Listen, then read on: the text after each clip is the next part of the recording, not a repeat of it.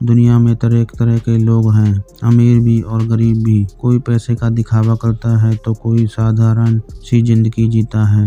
ऐसे बहुत से लोग हैं जिनके पास संपत्ति तो अथा है, लेकिन उन्हें पैसों का जरा भी घमंड नहीं है, बल्कि वह साधारण सी ज़िंदगी जीते हैं। वहीं पैसों का दिखावा करने वाले लोग महँगे महँगे होटल और रेस्टोरेंट में जाते हैं, महँगे कपड़े पहनते हैं और महँगी गाड़ियों में चलने का दिखावा करते हैं।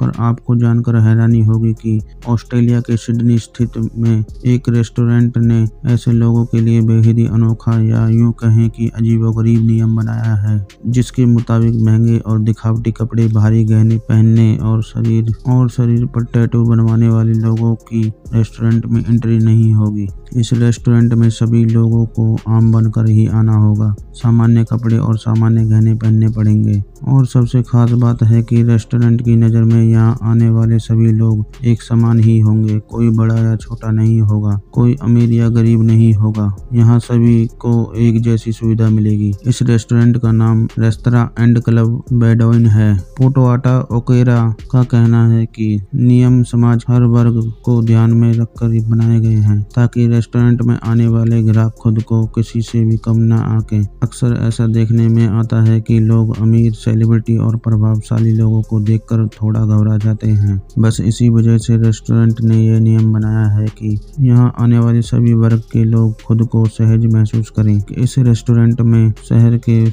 बड़े बड़े लोग अक्सर आते रहते हैं, जिसमें सेलिब्रिटी से लेकर राजनेता तक शामिल हैं। ऐसे में रेस्टोरेंट के इस नियम से सभी हैरान हैं। कुछ लोग इस नियम को अप्रैल फूल करार दे रहे हैं। तो कुछ लोगों को यह नियम पसंद आ रहा है।